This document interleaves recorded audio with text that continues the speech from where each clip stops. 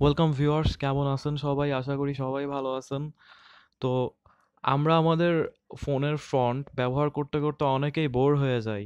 সোজা ও formal front যে, যেটা দেখতে দেখতে অনেকেই একটা সময় বিরক্ত হয়ে যায়। তো নর্মালি স্যামসাং ফোনে ফ্রন্ট চেঞ্জ করা যায় বা স্টাইলিশ ফ্রন্ট দেয়া থাকে। তো অন্য ফোনগুলোর ক্ষেত্রে তেমন একটা দেখা যায় না। তো আজ আমি দেখাবো কীভাবে আপনারা এমআই বা শাওমি ইউজার হলে আপনার ডিফল্ট ফ্রন্ট থেকে আপনি আপনার ফ্রন্ট স্টাইলিশ করতে পারবেন।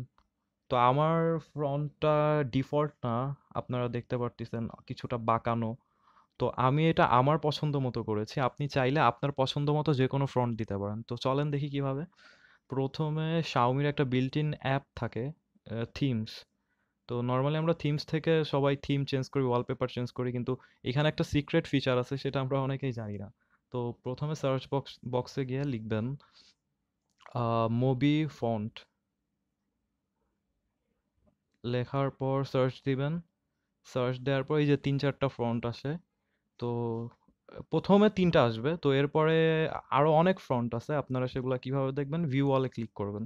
ভিউ ওয়ালে ক্লিক করার পর এই যে অনেক ধরনের ফ্রন্ট আছে। তো যেটা ভালো লাগবে, সেটায় ক্লিক করবেন। ক্লিক করার পর ডাউনলোড ফর ফ্রি এই বাটনে ক্লিক করবেন। ডাউনলোড হচ্ছে। ডাউনলোড হয়ে গেলে অ্যাপ্লাই অ্যাপ্লাই ক্লিক করবেন।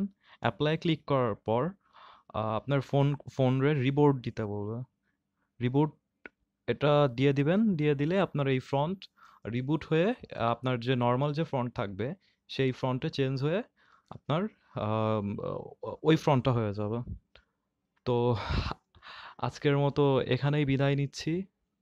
ভিডিও ভালো লাগলে লাইক দিবেন শেয়ার করবেন। অবশ্যই সাবস্ক্রাইব করতে ভুলবেন না।